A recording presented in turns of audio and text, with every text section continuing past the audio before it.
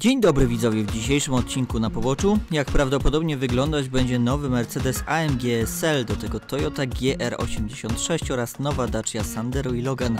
Zaczynamy.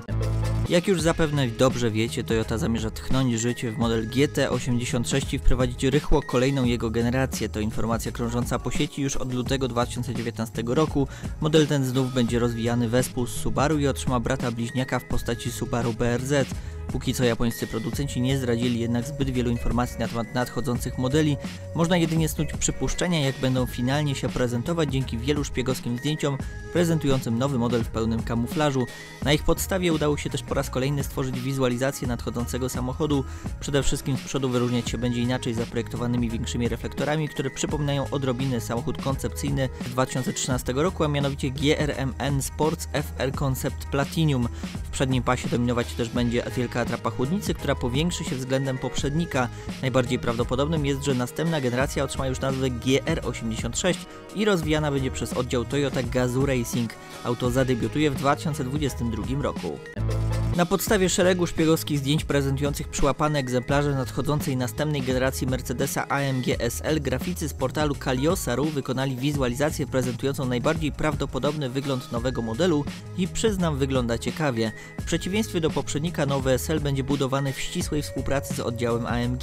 Otrzyma świetne proporcje, gdyż bardzo charakterystycznym elementem dla całej sylwetki będzie długa maska oraz mocno przesunięta do tyłu krótka kabina pokryta brezentowym dachem. W tej generacji zniknie dotychczas stosowany mało subtelny, acz praktyczny twardy dach.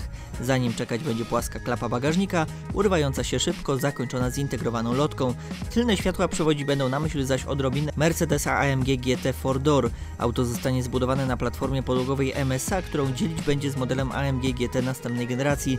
W gamie silnikowej pojawią się 3-litrowa jednostka 6-cylindrowa o mocy 430 koni mechanicznych, jak również 4-litrowe V8 Twin Turbo o mocy 520 koni mechanicznych i SL63 z silnikiem V8 o mocy 605 koni mechanicznych.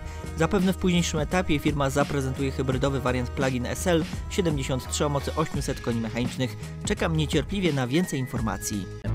Na ulicach pojawiły się też tajemnicze i lekko zakamuflowane egzemplarze kolejnego elektrycznego Volkswagena, który tym razem po sprytnej sztuczce z nakładaniem atrapy chłodnicy Opla modelowi ID4 udaje Peugeot, a w rzeczywistości jest nadchodzącym ID6, czyli produkcyjnym wcieleniem modelu ID Rooms. Nowy duży SUV zostanie oczywiście zbudowany na platformie MEB i będzie konkurować z Teslą Model X, podobnie jak model koncepcyjny otrzyma w tylnym przedziale pasażerskim odsuwane do tyłu drzwi. Pod względem stylistyki będzie cechować się rozwiązaniami, które spotkać można w ID3 oraz ID4. Podobne pozytywne światła LED, zasłonięta trapa chłodnicy oraz aerodynamiczne felgi. Auto ma oferować więcej przestrzeni we wnętrzu co Volkswagen Touareg. Rozstaw osi wynosić będzie niemal 3 metry, co robi wrażenie. W gamie jednostek napędowych pojawi się kilka wersji silnikowych. Najmocniejsza z nich dysponować będzie dwoma silnikami elektrycznymi o łącznej mocy 306 koni mechanicznych, przyspieszać będzie do setki w 6,6 sekundy i osiągać prędkość maksymalną równą 180 km na godzinę. Zasięg zaś na jednym ładowaniu w tej konfiguracji wynosić będzie 450 km. Wewnątrz znów znajdzie się wirtualny kokpit, mała ilość fizycznych przycisków i duży ekran systemu multimedialnego desce rozdzielczej. Subaru po cichu zaprezentowało nową specjalną wersję modelu Forester w Niemczech nazwaną Edition Sport 40 i pojawiła się, by uhonorować 40. rocznicę marki. Samochód w tym pakiecie zostanie wyprodukowany w ilości 468 egzemplarzy, co czyni go bezsprzecznie limitowanym. Wersja dodaje nowe dodatki kolorystyczne, m.in. pomarańczowym lakierem pokryte są teraz atrapa chłodnicy, ramki dookoła świateł przeciwmgłowych czy relingi dachowe. Samochód osadzony jest na 18-calowych aluminiowych felgach. Kontrastujące z dotychczas nudnymi kolorami wykończenia wnętrza są również pomarańczowe przeszycia, które pojawiają się na pokrytej skórą kierownicy czy drążku zmiany biegów. Specjalna edycja bazuje na środkowej wersji wyposażenia Comfort, zatem już w standardzie dostajemy tu dwustrefową automatyczną klimatyzację, panoramiczny dach szklany, elektrycznie regulowany i podgrzewany lusterka, podgrzewaną kierownicę oraz 8-calowy ekran systemu multimedialnego. Moc pochodzi natomiast z dwulitrowego silnika Boxer Mild Hybrid o mocy 150 koni mechanicznych i 194 Nm momentu obrotowego. Pierwsze egzemplarze sportowego modelu GR Yaris trafią do klientów pod koniec bieżącego roku i na początku 2021. Tymczasem dział Toyota Gazoo Racing zaprezentował szereg modyfikacji specjalnie zaprojektowanych dla małego hot hatch. Najbardziej rzucającą się w oczy kwestią jest nowy pakiet stylistyczny, w którego skład wchodzą przedni i tylny spoiler, poszerzenia, nakładki na progi oraz cztery sportowe końcówki wydechu. Do tego jeszcze uatrakcyjniające nadwozie sportowe paski czy emblematy GR. We wnętrzu znajdą się również dodatki z włókna węglowego na desce rozdzielczej i boczkach drzwi. Uatrakcyjnione zostanie również wyposażenie. Auto napędzane będzie nadal benzynowym silnikiem turbodładowanym 1.6 SN6 o mocy 261 koni mechanicznych i 360 Nm momentu obrotowego. W zeszłym tygodniu czeski producent zaprezentował nową elektryczną Skodę Enyaq, a już testuje zakamuflowane egzemplarze prototypów usportowionej wersji tego modelu w odmianie coupé. Samochód został pokryty grubym kamuflażem, ale nie da się ukryć opadającej powoli linii dachu tuż za słupkiem B, jak również lekkiej lotki na klapie bagażnika. Z pewnością tak jak w Volkswagenie Tiguan X, inaczej zostaną zaprojektowane tutaj tylne światła. Zwraca też uwagę mocno pochylona tylna szyba. We wnętrzu nie powinno zmienić się nic. Koncern WAG jest raczej znany z kopiowania desek rozdzielczych i rozwiązań z innych modeli i nie sili się na oryginalność. Samochód z całą pewnością przechwyci też warianty napędowe i znów będziemy mogli spodziewać się aż pięciu różnych wersji. Dacia wrzuciła do sieci pierwsze zdjęcia prezentujące nową generację modeli Sandero, Sandero Stepway oraz Logan. Pełna prezentacja ma się odbyć pod koniec tego miesiąca. Nowa trzecia iteracja Sandero cechuje się z zewnątrz mocno ewolucyjną stylistyką. Uwagę przykuwają tu przede wszystkim reflektor LED z grafiką w kształcie litery Y, jak również nowoczesne tylne LEDowe światła. W porównaniu do obecnego jeszcze modelu Sandero posiada znacznie bardziej pochyloną przednią szybę oraz niższą linię dachu. Auto wydaje się też bardziej przesadziste i lepiej wygląda. Tak jak poprzednio, w gamie modelowej pojawi się też lekko podniesione Sandero Stepway, będące małym crossoverem. Z zewnątrz wyróżniać się będzie lekko większym prześwitem oraz dodatkami w dolnej części nadwozia w postaci matowych, plastikowych wstawek chroniących karoserię. Osiągalny i rozsądny subkompaktowy sedan, czyli Dacia Logan, również zyskała nowocześniejszą stylistykę.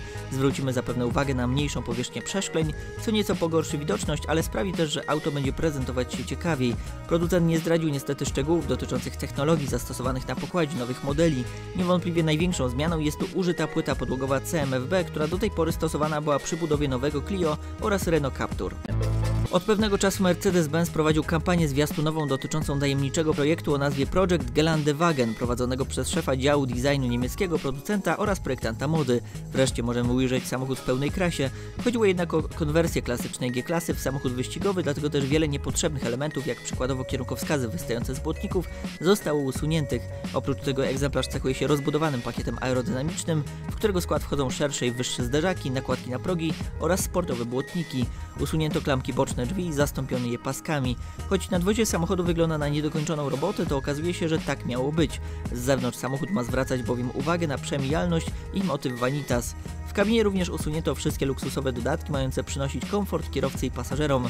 Wyświetlacze prezentujące tablice zegarów zostały zastąpione analogowymi tarczami. Kierownicę wykonano inspirując się tymi używanymi w bolidach Formuły 1. Kubełkowe sportowe fotele otrzymały pięciopunktowe pasy bezpieczeństwa, a oprócz tego w kabinie przykuwa uwagę potężna klatka bezpieczeństwa oraz mocno widoczna gaśnica. Tuż przed oficjalnym debiutem w sieci pojawiły się wiarygodne zdjęcia nowego super samochodu od Maserati, a mianowicie długo zapowiadanego modelu MC20. Auto jest zbudowane wyłącznie z aluminium i kompozytów. Do napędu służy tu za to centralnie umieszczona jednostka 3-litrowa V6, zbudowana całkowicie od nowa. Wiele elementów przypomina co prawda rozwiązania z Ferrari. Moc 630 koni mechanicznych oraz 730 Nm momentu obrotowego. Do obsługi tej sporej mocy zostanie przygotowana 8-stopniowa dwusprzęgłowa skrzynia automatyczna Getrack przenosząca moc na tylne koła. Z zewnątrz finalnie samochód charakteryzować się będzie lekkimi, niezdecydowanymi liniami, zupełnie odróżniającymi go od innych modeli w gamie producenta. Przednie pionowe reflektor LED mogą odrobinę przypominać Ferrari F430, natomiast tylne poziome światła Pininfarina Battista.